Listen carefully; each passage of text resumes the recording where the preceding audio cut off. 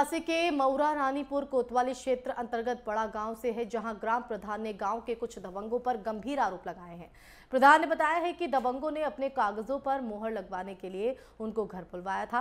वहीं घर आकर मोहर लगाने से मना करने पर दबंगों ने गाली गलौज की। अगली सुबह दबंग लाठी डंडे लेकर घर के अंदर आए और जिसके बाद उन्होंने बस्ता और डोंगल छीन लिया। साथ ही जाति सूचक गालियाँ देने लगे, जिसका विरोध करने पर दबंगों ने प्रधान को जमकर पीटा। वहीं मामले को लेकर प्रधान मऊ रानीपुर कोतवाली पहुँचे जहाँ दबंगों के खिलाफ कठोर कार्रवाई करने की मांग की जा रही है।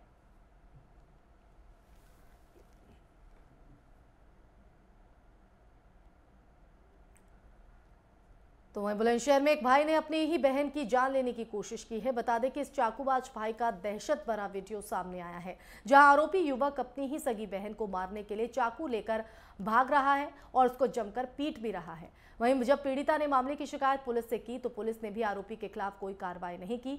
वहीं बहन का आरोप है कि उसका भाई अपनी साली के कहने पर बहन की हत्या करना चाहता है और लगातार कई बार पहले भी इस तरीके के जानलेवा हमला कर चुका है। वहीं अब न्याय के लिए पीड़ित बहन ने एसएसपी संतोष कुमार सिंह से न्याय की गुहार लगाई है, जिसके बाद एसएसपी पीड़िता को न्याय देने का आश्वासन देते हुए थाना पुलिस को जाँच कर ज़रूरी कार्रवाई करने का निर्देश दिया है।